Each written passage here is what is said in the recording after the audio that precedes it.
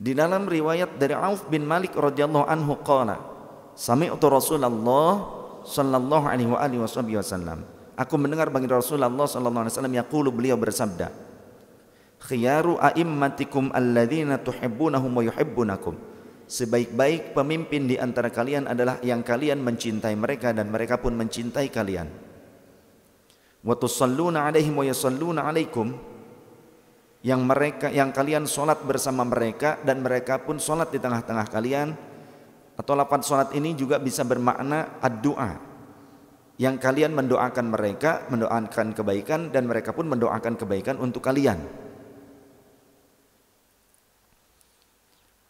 Wasyiraru a'immatikum dan seburuk-buruk pemimpin di antara kalian adalah alladzina tubghirunahum wa yubghidunakum yang kalian membenci mereka dan mereka pun membenci kalian. Pemimpin dan rakyat saling benci.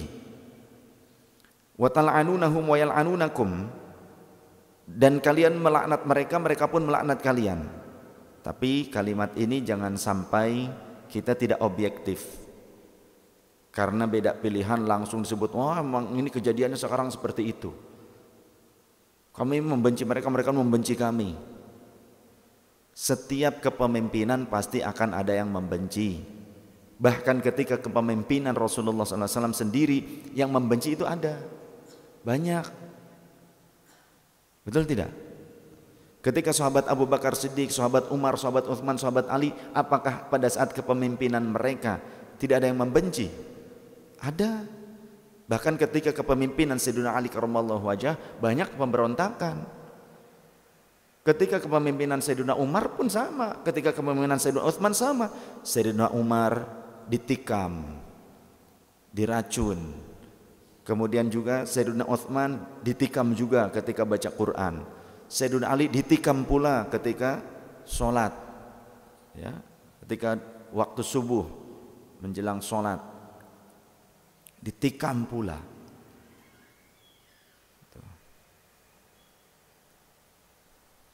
Jadi apakah Sayyidina Ali karamallahu wajhah itu pemimpin yang buruk?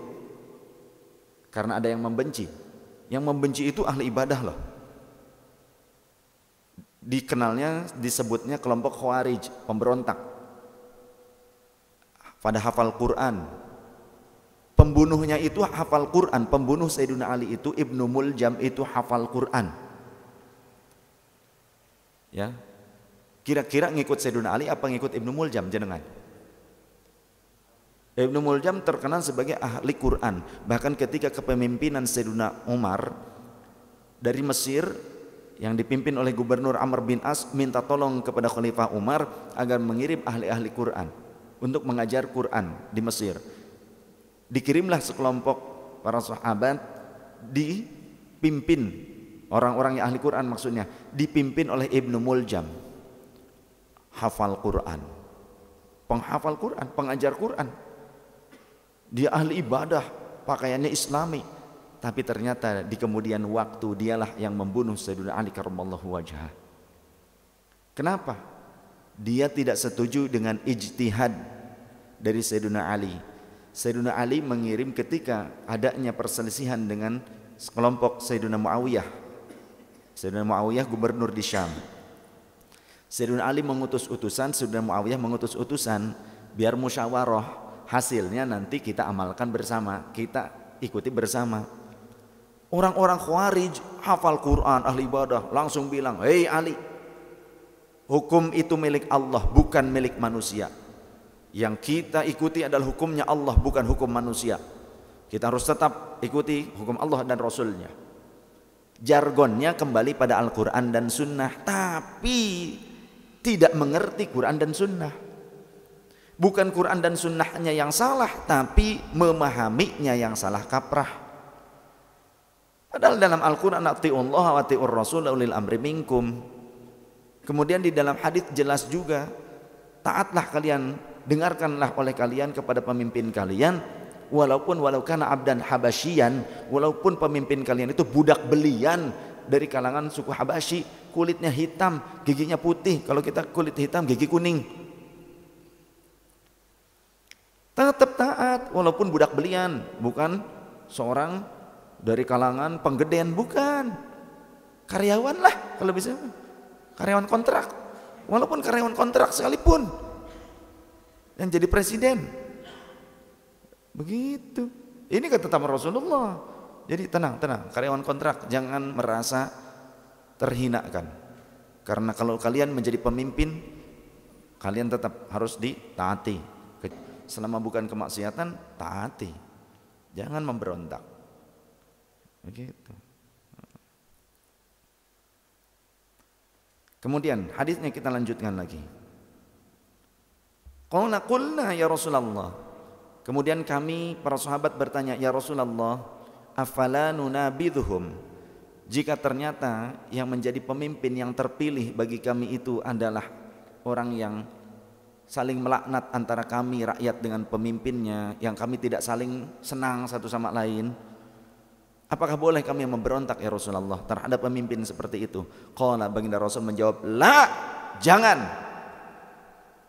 Ma aqamu fikumus shalah selama mereka masih menegakkan salat di antara kalian.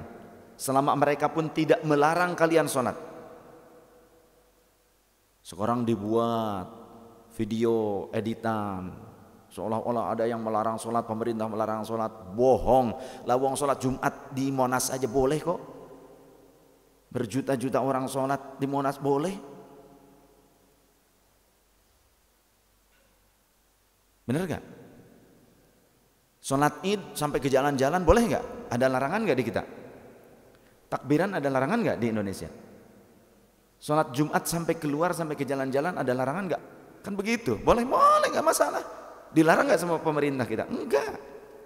Mohon maaf, saya tidak mengarahkan anda pada pilihan yang mana. Terserah istikharah tujuh kali dah atau berapa kali terserah mau seribu kali sehora terserah minta petunjuk sama Allah tapi saya ingin mengajak kepada bangsa Indonesia agar cerdas memahami tentang politisasi agama saat ini yang banyak dilakukan oleh orang-orang yang tidak bertanggung jawab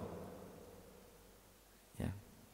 bahkan cenderung mohon maaf ada cenderung pelin plan kenapa saya bilang pelin plan Sebelumnya ada yang bilang bela ulama, dukung ulama, rekomendasikan ulama. Ketika ulamanya diambil oleh pihak lawan, beda lagi. Kesepakatannya berubah lagi. Kenapa? Karena di pihaknya tidak ada ulama yang menjadi calonnya. Eh, digadang-gadang yang bukan ulama tiba-tiba mendadak jadi ulama. Ada yang mantan pastur digadang-gadang jadi ulama. Walaupun menghina ulama beneran yang tawadu, yang alim punya pesantren dihina-hina. Tapi mantan pastur digadang-gadang jadi ulama, dijadikan rujukan. Ada juga mu'alaf yang tiba-tiba dijadikan rujukan menjadi ustad. Padahal ketika ada pengurus Masjid Chengho menjadi anggota Banser, wah langsung dibuat opini tentara RRC menyusup ke dalam tubuh Banser. Boro-boro menyusup ke dalam tubuh Banser. Lah Banser ngudut aja susah. Gimana nyusup ke dalam tubuhnya? Emang kesurupan apa? Tapi yang sekian lamanya mu'alaf dijadikan ustad, dijadikan rujukan, dijadikan ulama, ih bangga. Padahal sama-sama eng ing ong namanya. Namanya eng ing ong yang iung ing iung. Namanya. Ya khas lah, khas Tiongkok gitu namanya. Tapi dijadikan ulama buat mereka, tapi yang lain dibully. Coba realistis berpikirnya. Ada yang baru masuk Islam, membuat komunitas mu'allaf, dijadikan ulama itu pun. Tapi yang ini yang mu'alaf ini menghina ulama yang ngelotok yang dari sejak kecil di pesantren anak ulama juga. Lulusannya lulusan Timur Tengah juga. Kum laud di umul Qur'annya. Dihina oleh siapa? Oleh mu'alaf. Yang baru tiga tahun masuk Islam. Coba mikir deh, yang ulama itu yang mana sih kira-kira? ada tukang debus, tukang sulap. Tiba-tiba pakai gus jadi ulama. Selfie sama ulama dadakan anggota dewan. Saya sedang bersama ulama. Ini juga pakai imamah juga. Yang anggota dewan. Yang ini dianggap ulama. Yang tadinya tukang sulap, tukang debus. Yang padahal kalau disuruh baca kitab hadis saja nih yang masih bahasa Arab nggak akan bisa. Tata togan. Nah, tolonglah umat Islam itu bisa objektif. Tolong berpikirnya yang jernih, jangan karena nafsu, jangan karena emosi.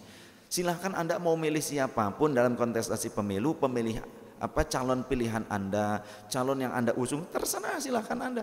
Tapi jangan pernah diputar balikan kebenaran, jangan pernah Anda menghina orang-orang yang soleh sekelas ulama apalagi. Jangan menutup-nutupi kebenaran. Jangan diputar balik. Yang ulama dihina, tapi yang baru ulamaan, ulama bohongan, ngaku-ngaku ulama, dijadikan ulama digadang-gadang yang jujur dihina, disalahkan. Tapi yang pelin-pelan diikuti. Terserah Anda mau ikuti siapa terserah, Anda mau milih siapa terserah, monggo. Saya tidak terkait langsung dengan politik praktis, enggak saya. Bahkan kalau mau jujur, kalau mau jujur, dulu saat kontestasi pemilu yang lalu, saya tidak memilih presiden yang sekarang. Tidak, tapi ketika beliau sudah terpilih, ya kita harus sam'an wa ta'atan. Dukung program yang baik untuk rakyat, untuk bangsa dan negara. Siapa pun yang menang. Jadi ketika kita berani mengikuti kompetisi, kita itu harus berani menang dan berani kalah. Jika berani menang harus berani kalah. Jika menang rangkul yang kalah, bukan menginjak yang kalah, tapi jika kalah pun jangan menjadi pemberontak.